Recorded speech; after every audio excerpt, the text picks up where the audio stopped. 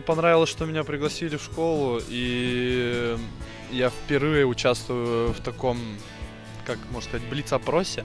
А, для, для меня это немножко неожиданно было. Ну, я, в принципе, с волнением справился.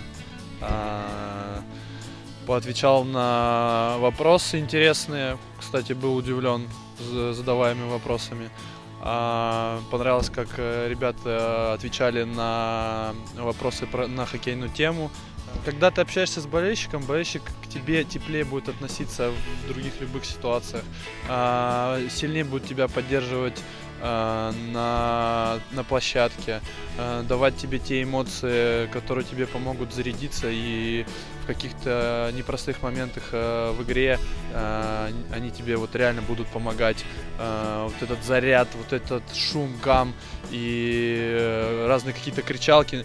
Но ты не прям не столь сильно на них обращаешь внимание, как ты чувствуешь их вот эти вибрации просто по телу. Э, если сравнивать, э, где я играл, то есть это одни из э, лучших болельщиков, которых я встречал. Ну, это реально круто, когда на тебя столько людей приходит. Хоть у нас и не, ну, как бы небольшая вместимость, но он такое ощущение, что, блин, ну там не меньше трех-четырех тысяч как будто поддерживает. Ну, реально круто.